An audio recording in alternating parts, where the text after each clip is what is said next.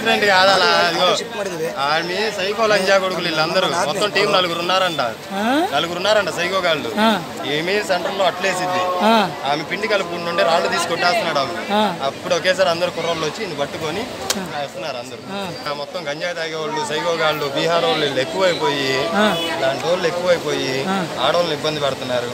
సైలెంట్గా అలవాటు లేని కాజా లాంటి వాళ్ళని కాజా లాంటి వాళ్ళని ఇబ్బంది పెడుతున్నారు. జోబుల నుంచి డబ్బులు లాక్కుంటున్నారు. వీళ్ళు ఎక్కడి నుంచి వస్తున్నారో ఏంటో తెలియదు ఆమె చెప్పానుగా పిండి కలుపుకుంటే రాళ్ళు తీసి కొడుతున్నారు. కంప్లైంట్ పెట్టలేదు పోలీస్ స్టేషన్లో రాత్రి ఒక మటర్ జరిగింది. వీళ్ళు గ్రూప్లో చేశారు. ఎక్కడ? రైలు ఎవరిని చంపారంట.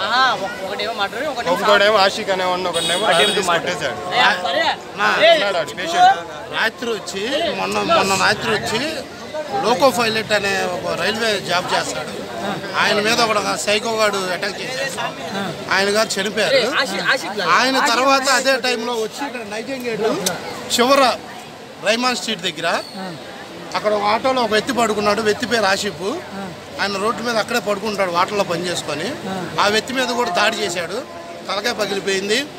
దాని పేరు కూడా కొద్దిగా ఏలు చితికిపోయింది.